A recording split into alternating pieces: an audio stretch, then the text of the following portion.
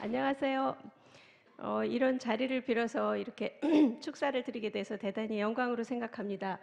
오늘 그 고대사 환단고기를 통한 국민 대토론회가 열리게 된 것을 축하드리고요.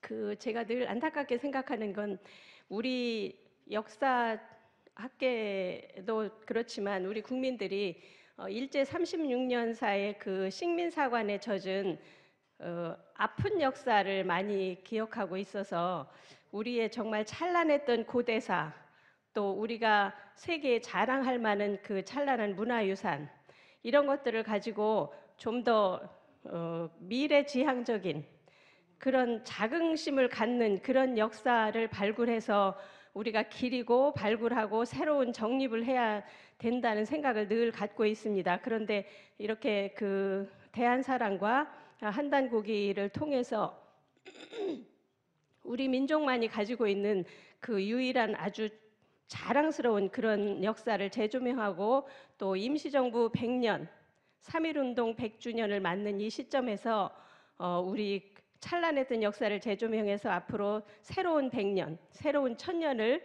또 가꾸어 나가는 그런 시발점이 이 학회가 됐으면 참 좋겠습니다.